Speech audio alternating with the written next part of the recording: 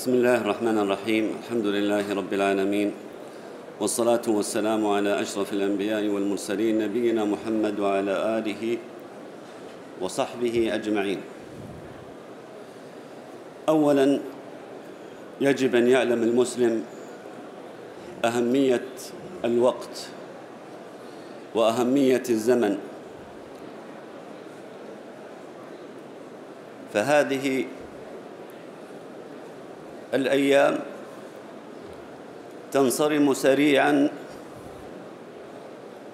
وهي خزائن نضعها.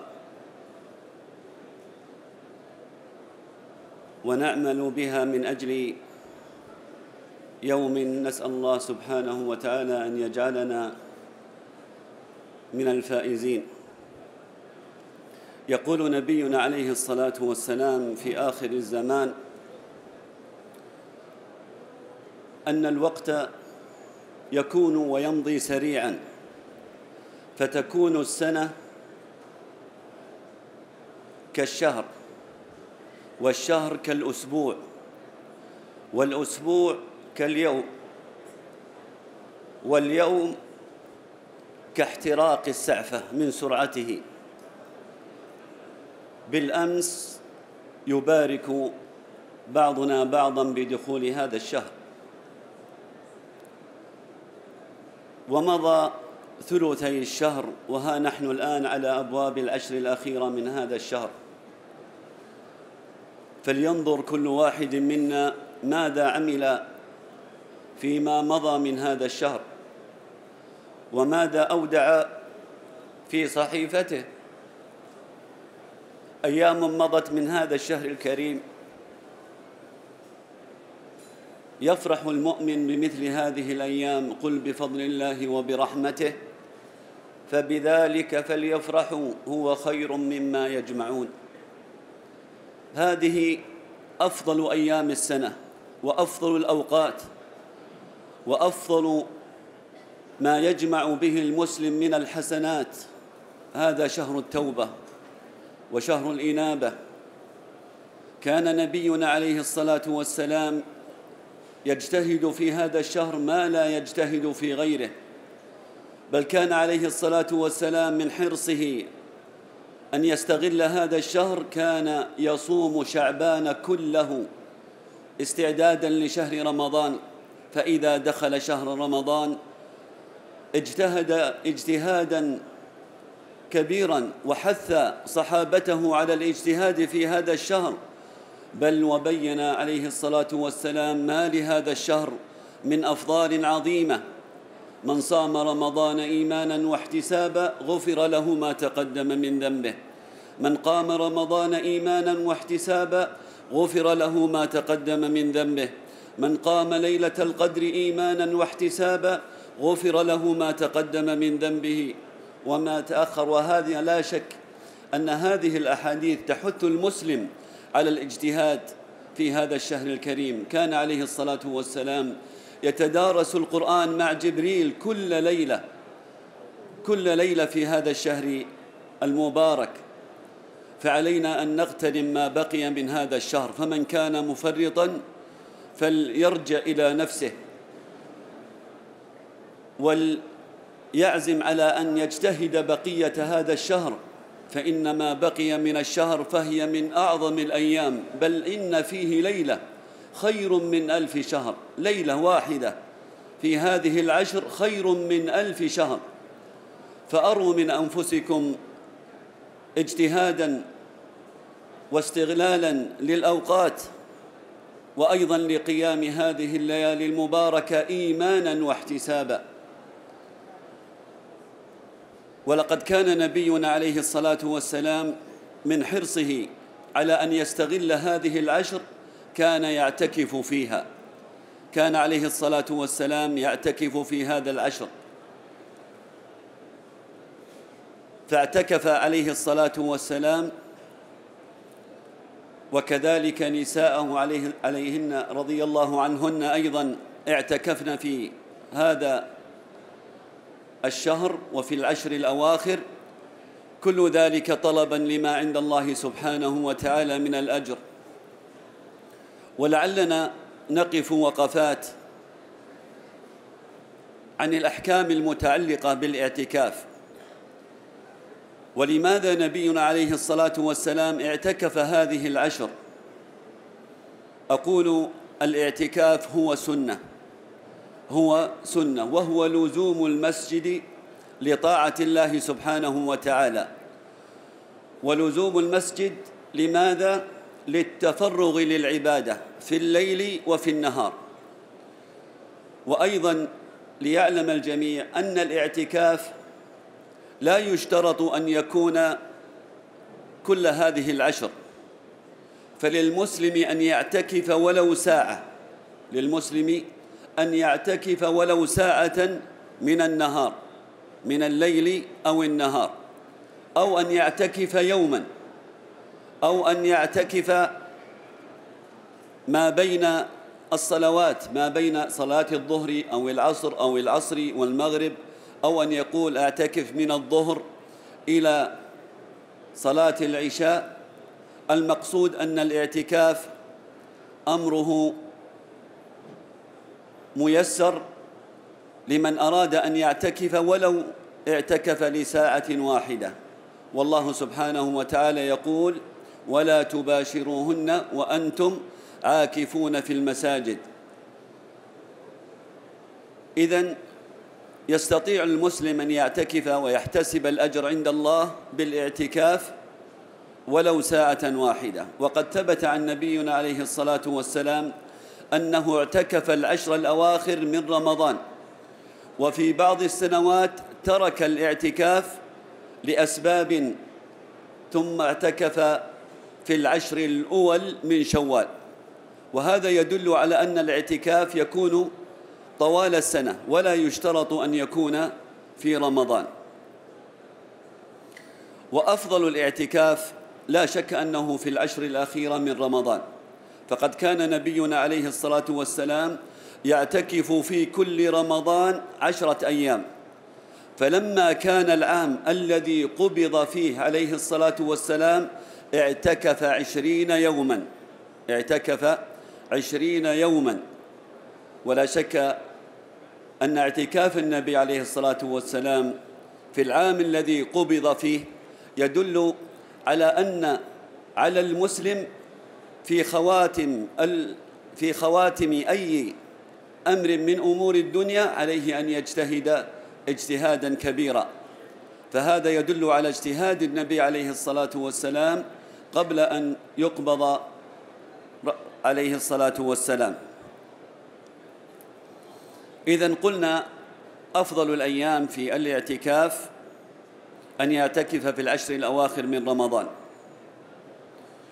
ولا شك أنه إذا اعتكف في شوال أو اعتكف في أي شهر من الشهور نقول أيضا لا حرج في ذلك.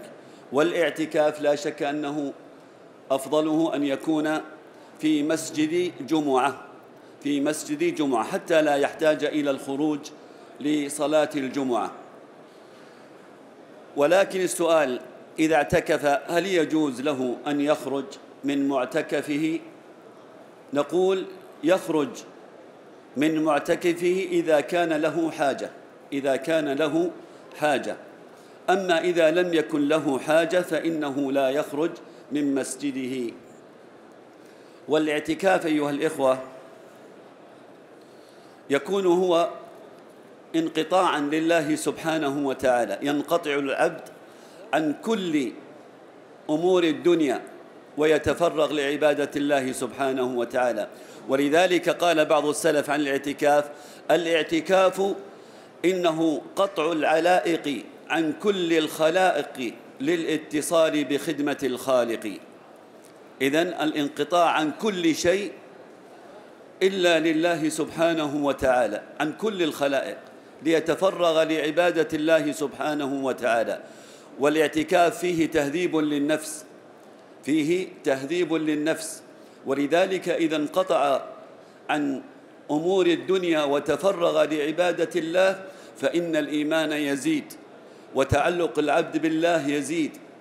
ثم تجد هذا ينعكس على راحته وعلى اطمئنانه. ثم اعلم أيها الأخ الكريم أن الاعتكاف فائدته لا تنحصر فقط لنفسك ولكن أيضا تعود على أهلك وعلى بيتك لما فيها من الخير العظيم. اشترط بعض أهل العلم وقالوا أن الاعتكاف لا يصلح إلا إذا كان صائما.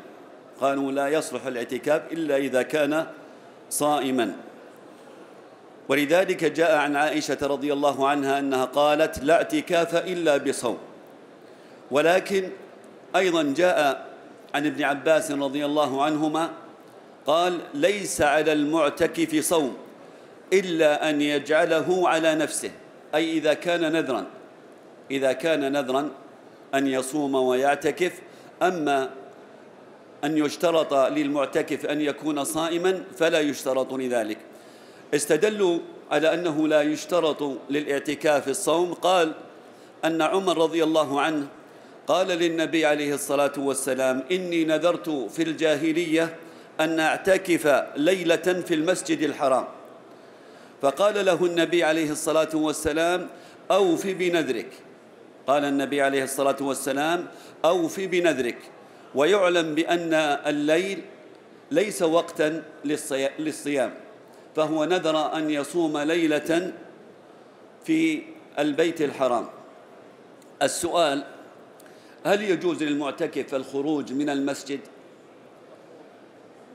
إذا خرج المعتكف من المسجد لغير حاجة فإن اعتكافه يبطل لأن الاعتكاف هو المكث في المسجد لطاعة الله سبحانه وتعالى إلا إذا خرج لأمر لا بد منه كقضاء حاجة أو لوضوء أو لاغتسال أو إحضار الطعام إذا لم يكن هناك أحد يحضر له الطعام ونحو ذلك. فقد جاء في الصحيحين من حديث عائشة رضي الله عنها قالت كان رسول الله صلى الله عليه وسلم لا يدخل البيت إلا لحاجة الإنسان إذا كان معتكفا. حاجة الإنسان إما لقضاء حاجته أو لأكل أو شرب. وإلا فإن النبي عليه الصلاة والسلام لا يدخل بيته بل يلتزم المسجد.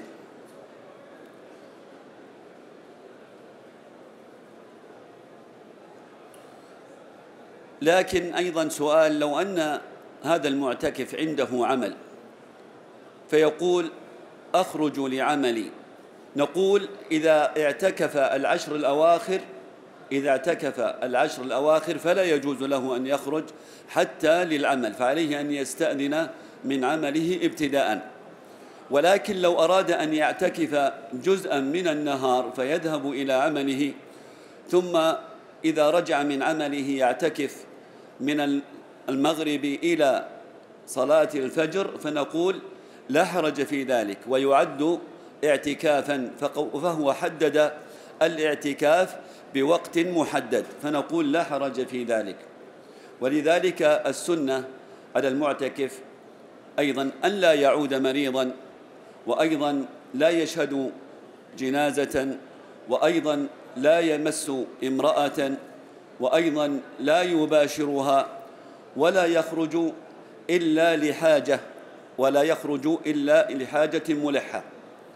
طيب معتكف عنده فاتورة للكهرباء أو فاتورة للهاتف. هل يجوز له أن يسدد هذه الفاتورة وهو في المسجد؟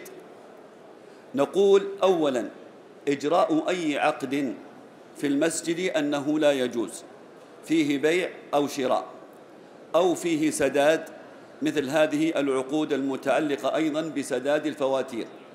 أو أنه يريد شراء طعام له. الآن هناك تطبيقات يستطيع من خلالها من خلالها وهو في المسجد أن يشتري من هذه الأماكن وهو في المسجد. فنقول هل يجوز له أن يجري مثل هذه العقود في المسجد؟ نقول لا يجوز له أن يجري مثل هذه العقود في المسجد. فإذا أراد أن يسدد فاتورة أو أن يشتري حاجة فعليه أن يخرج من المسجد. هذا ليس للمعتكف. أتكلم عن من يجلس في المسجد من جلس في بيت من بيوت الله في المسجد الحرام أو في أي مسجد آخر. لا يجوز له أن يجري أي عقد من العقود وهو في المسجد. لا من بيع ولا من شراء ولا من تطبيقات. لا يسدد فاتورة. لا يحول مبلغا لأولاده. لا يقوم بأي إجراء عملية فيها بيع أو شراء أو تحويل أو عقود في المسجد. هذا الأصل. فإذا أراد أن يجري أي عقد من هذه العقود فعليه أن يخرج خارج المسجد ويجري هذا العقد. فإذا أراد مثلا أن يطلب طعاما فيخرج خارج المسجد إذا كان معتكفا ويطلب. هذه لحاجة. كذلك على المعتكف ألا يجري أي مفاوضات مع أي جهة كانت في بيع أو شراء أو أي أمر آخر إلا في أمر متعلق بالعبادة.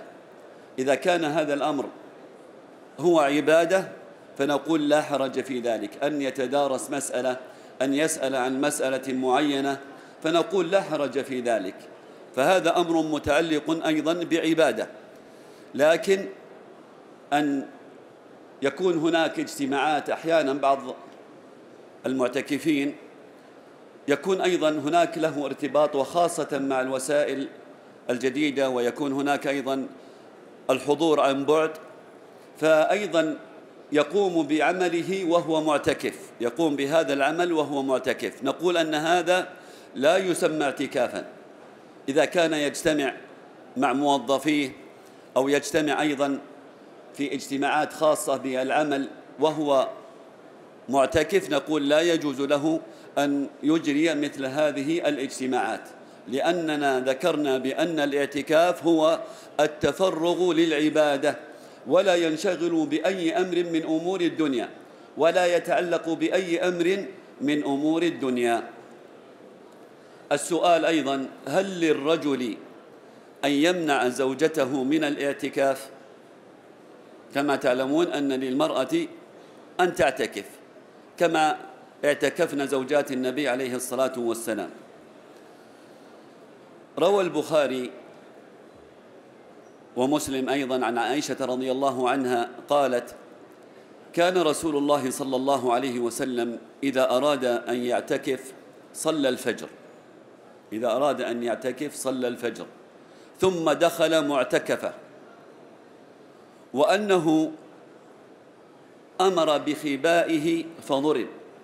أمر النبي عليه الصلاة والسلام أن يوضع له خباء في المسجد فوضع هذا الخباء. فضرب. فلما رأينه زوجات النبي عليه الصلاة والسلام قد وضع الخباء قمنا أيضا بوضع الخباء لهن. قمنا أي زوجات النبي عليه الصلاة والسلام يضعن الخباء لكل واحدة منهن وهن أزواج النبي عليه الصلاة والسلام. فامتلأ المسجد بالأخبية. فلما صلى النبي عليه الصلاة والسلام الفجر نظر فإذا الأخبية كثيرة.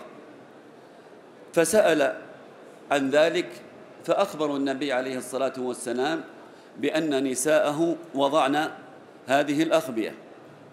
فقال عليه الصلاة والسلام البر أردنا أو قال لهن البر تردن؟ يخاطب زوجاته عليه الصلاة والسلام. فأمر بخبائه فقوض. أي أمر بأن يقوض هذا الخباء الذي وضعه النبي عليه الصلاة والسلام. وترك عليه الصلاة والسلام الاعتكاف في شهر رمضان حتى أنه اعتكف تلك السنة في العشر الأول من شوال عليه الصلاة والسلام. وفي رواية أيضا أخرى عند البخاري أن عائشة رضي الله عنها استأذنته بالاعتكاف فأذن لها ثم طلبت أيضا حفصة رضي الله عنها من عائشة أن تستأذن لها النبي عليه الصلاة والسلام بأن تعتكف فأذن لها النبي عليه الصلاة والسلام. هذا يدل على أن المرأة لا يجوز لها أن تعتكف إلا بإذن زوجها.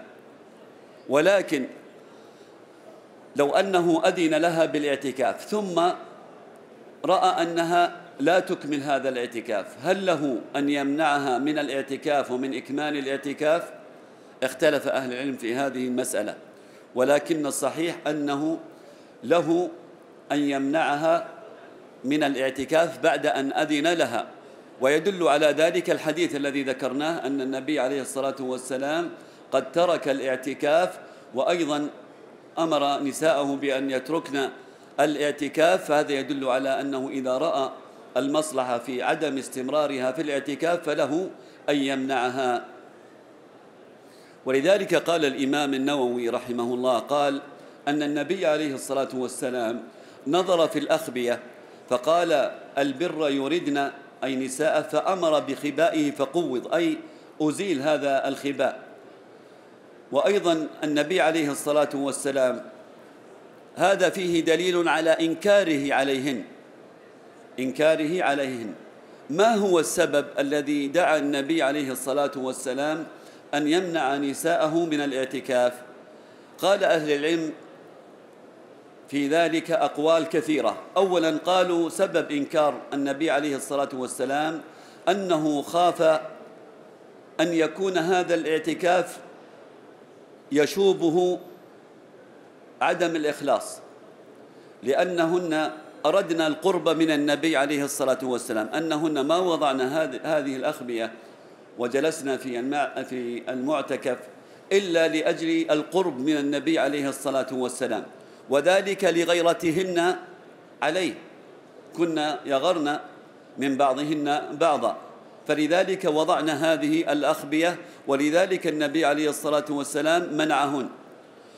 وقيل أيضا لغيرة النبي عليه الصلاة والسلام على نسائه.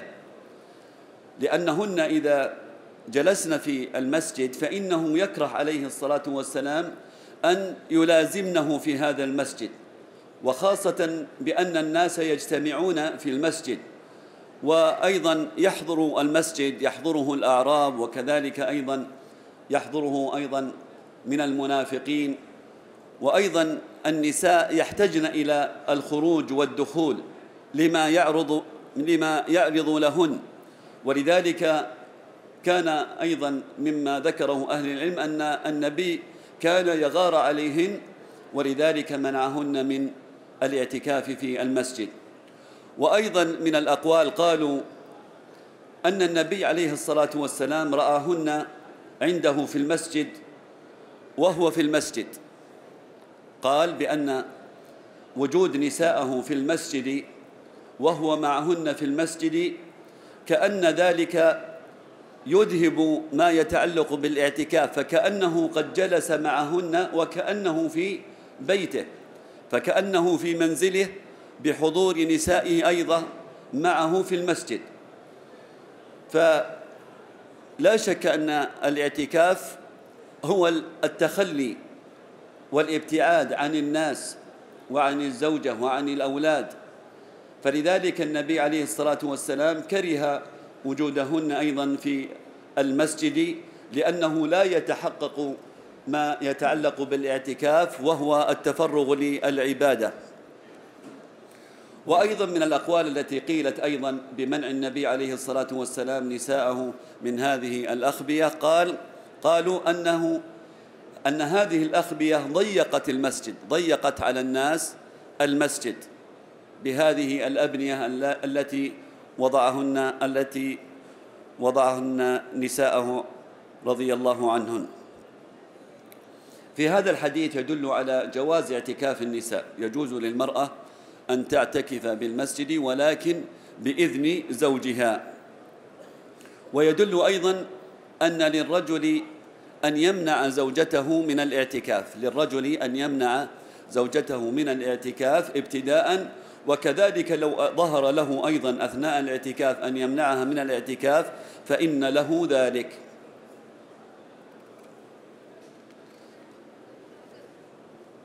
والسؤال الآن من اعتكف العشر الأواخر متى يدخل ومتى يخرج؟ جمهور أهل العلم قالوا أن ابتداء الاعتكاف يكون من ليلة إحدى وعشرين. من ليلة إحدى وعشرين. إذا قلنا أن الدخول من ليلة إحدى وعشرين فقد جاء في حديث عائشة رضي الله عنها أن النبي عليه الصلاة والسلام صلى الفجر ثم دخل معتكفا فقالوا أن السنة أنه يدخل بعد صلاة الفجر يدخل بعد صلاة الفجر. ولكن الصحيح في ذلك الصحيح في ذلك أن ليلة 21 هي داخلة في هذه العشر. وقول عائشة فلما صلى الصبح دخل معتكفا هذا فيه دلالة على أنه كان في معتكفه بمعتكفه سابقا. دخل فعل ماضي دخل معتكفا فإنه دخل المعتكف معنى ذلك أنه قد اعتكف قبل ذلك. أنه دخل معتكفه قبل ذلك. فدخول المعتكف يكون مع غروب شمس ليلة الحادي والعشرين وهي الليلة ليست هذه الليلة ولكن الليلة التي بعدها. غدا إن شاء الله من أراد أن يعتكف بعد مغيب الشمس يبدأ الاعتكاف من بعد مغيب الشمس وهذا هو الصحيح. وأما نية الاعتكاف فهي تكون من أول ليالي العشر ينوي المسلم بأن يعتكف عشرة أيام. فإذا نوى ذلك فلا يجوز أن يقطع الاعتكاف إلا لحاجة ملحة أو لأمر ملح. وإلا الأصل فإنه عليه أن يبقى في اعتكافه حتى ينتهي الاعتكاف.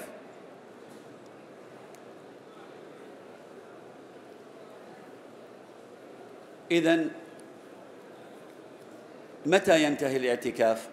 إذا بدأ من مغيب ليلة أو يوم العشرين ليلة الحادي والعشرين دخل في معتكفه. ينصرف متى؟ ينصرف من اعتكافه إما بآخر بمغيب آخر يوم من أيام رمضان إذا أتم إذا تم الشهر أو بإعلان العيد. إذا أعلن العيد ولم يتم الشهر ثم أعلن العيد فإنه إذا أعلن يقطع اعتكافه وينتهي هذا الاعتكاف. هذه بعض الأحكام المتعلقة بالاعتكاف لكن الذي ينبغي وينبه عليه في أمر الاعتكاف أن بعض الناس للأسف الشديد كما ذكرنا لكم سابقا أنه جعل الاعتكاف كأنه نزهة كأنه نزهة. يقوم بالاتفاق مع أصحابه من أجل الاعتكاف. لا يصلح أن تتفق مع أي شخص. هذه يا أخي الاعتكاف بينك وبين الله سبحانه وتعالى وهي عبادة. فلا يصلح أن تتفق مع أحد من أجل أن تعتكف أنت وهو. فإذا أردت الخلوة مع الله سبحانه وتعالى فعليك أن يكون هذا الاعتكاف بعيدا عن الناس وبعيدا عن الرياء. فلا يصلح أن تخبر الناس بأنك ستعتكف أو تتفق مع أناس لتذهبوا للاعتكاف ولكن عليك أن تجعل هذه العبادة بينك وبين الله سبحانه وتعالى. لأنك تريد من خلال هذا الاعتكاف أن تخلو بالله وتطلب الأجر. وأيضا تستغل الأوقات في هذه العشر المباركة في هذه العبادة في تلاوة القرآن في التسبيح والتهليل في قيام الليل أن تختم القرآن كل ليلة كل إذا قلنا كل ليلة القرآن تستطيع أن تختمه في ثمان ساعات. وللمقصر يستطيع أن يختم القرآن في عشر ساعات. يعني معناها أنك تستطيع أن تختم القرآن في يوم واحد. كل يوم تختم القرآن. ثمان ساعات. إذا نظرنا إلى الجزء الواحد فإنه يأخذ من الذي يقرأ القرآن حدرا ربع ساعة. وللمتأني في القراءة تقريبا عشرين دقيقة. ولنقل نصف ساعة.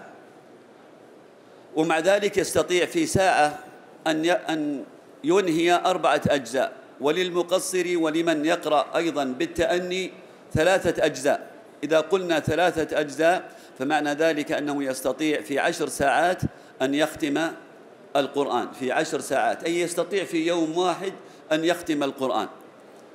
وهذا مناسب للمعتكف. المعتكف في خلوة فيستطيع أن يستغل هذا الوقت في ختم القرآن. أيضا يستغل أيضا الأوقات فيما يتعلق بقيام الليل والاجتهاد أيضا. ولو أنه جعل قراءة القرآن أيضا في قيامه لليل. أحيانا الإمام طبعا نحن في العشر الأواخر يصلي الإمام في أول الليل ويصلي في آخر الليل وهناك وقت بين الصلاتين. فلو أنه أراد أن يتنفل أيضا خلال هذا الوقت فلا حرج في ذلك. فصلاة الليل مثنى مثنى كما أخبر بذلك النبي عليه الصلاة والسلام. ولو أنه جعل قراءته للقرآن أيضا في صلاته أيضا لكان هذا أيضا فيه خير. وأيضا خلال هذا الوقت الذي يكون فيه معتكف أيضا يكثر من من الصلاة ويكثر أيضا من السجود وأيضا الدعاء في سجوده فأقرب ما يكون العبد من ربه في السجود. فيكثر من الدعاء خاصة في هذه الأيام وخاصة أنه تلبس بهذه العبادة العظيمة وهي الاعتكاف وهو الانعزال عن الناس وعن البشر وعن جميع شواغل الدنيا وانشغل في عبادة الله سبحانه وتعالى وحده. أيضا إذا اعتكف لا يصلح أن يكون هناك التجمعات والولائم وكذلك أيضا السمر والضحك وغيرها من الأمور التي للأسف أصبحنا نشاهدها في أماكن الاعتكاف. بل إن في بعض المساجد للأسف الشديد أصبح الاعتكاف كأنه في فندق.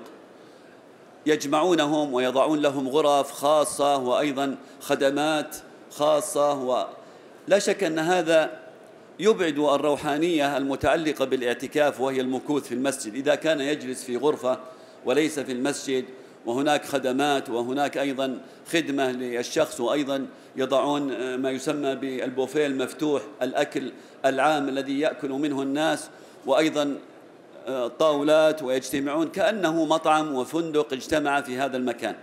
لا شك أن مثل هذه الأماكن لا يصلح أن يعتكف فيها ولو قال من قال بصلاحها لأن هذا يبعد الروحانية والمطلوب من الاعتكاف. فأنت إذا أردت أن تخلو مع الله سبحانه وتعالى فابتعد عن الأماكن التي فيها الزحام والتي يكثر فيها الناس والذي يكثر فيها اللغط بل أصبح للأسف الشديد أن بعض المعتكفين يوجه الدعوات لأناس بأن يزوروه في معتكفه ويقوم بالوليمة لهم فيطلب الأكل ويطلب أحيانا ذبيحة ويذبح لهم. كأنه ماذا؟ كأنه في بيته.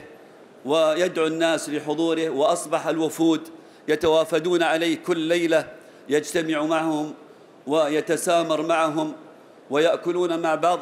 هذا لم يحقق المشروع والمطلوب من الاعتكاف. بل ذكرت لكم بأني دعيت أيضا إلى وليمة في معتكف. إلى وليمة في معتكف. نسأل الله السلامة والعافية. فذهبت من أجل أن أرى هذا الأمر فرأيت عجبا. فرأيت أنهم قد دعوا أناس كثر من خارج المسجد وليسوا من المعتكفين والمعتكفين عندما دخلت هذا المكان وكان في القبو كان أناس تجمعات وكأنهم في معسكر كشافة. أقرب ما يكون إلى ذلك الضحك واللعب والناس تتكلم وتتسامر والأكل في كل مكان ويجتمعون ويضحكون ويتسامرون. هل هذا يعد اعتكافا؟ هذا لا يعد اعتكاف كأنهم في رحلة كأنهم في رحلة ولم يحققوا المطلوب والمقصود من الاعتكاف فعلى المسلم إذا أراد أن يستفيد من هذا الاعتكاف فعليه أن يذهب إلى مسجد لا يكون فيه تجمعات للناس وأيضا يكون أيضا فيه تحقيق المطلوب من الاعتكاف وهو الخلوة مع الله سبحانه وتعالى واستغلال الأوقات فقلت لكم في البداية أن هذه أوقات ثمينة. علينا أن نستغل هذه الأوقات. ولذلك يتمنى المرء وهو في قبره أن يرجع إلى الدنيا وأن يسبح تسبيحة واحدة. ونحن الآن في فسحة. الحمد لله أعطانا الله النعم الكثيرة الأمن والاستقرار وكذلك الأوقات. فنستطيع ولله الحمد أن نستغل كل الأوقات في ماذا؟ في ذكر الله وفي التسبيح والتهليل وقراءة القرآن. فعلينا أن نجتهد وأن نبذل كل الأسباب وإذا كان هناك من صديق فإن عليه أن يعين صديقه على التفرغ للعبادة. ولا ينشغل بالحديث ولا بالتسامر وليؤجل هذا الحديث إلى ما بعد رمضان. كل أمر تحتاجه أجله بعد هذه العشر. لا تشغل نفسك في هذه العشر بأي أمر من أمور الدنيا. وهذا كان حال النبي عليه الصلاة والسلام وهو حال السلف أيضا من بعده. فكانوا يستغلون الأوقات ويستغلون هذه العبادة. ما هو الفضل الذي يجريه المسلم من الاعتكاف؟ نقول أن الاعتكاف هو نافلة من النوافل وهو عبادة من العبادات.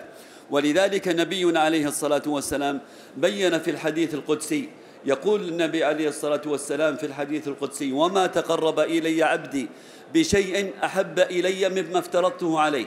ثم قال ولا يزال عبدي يتقرب إلي بالنوافل حتى أحبه.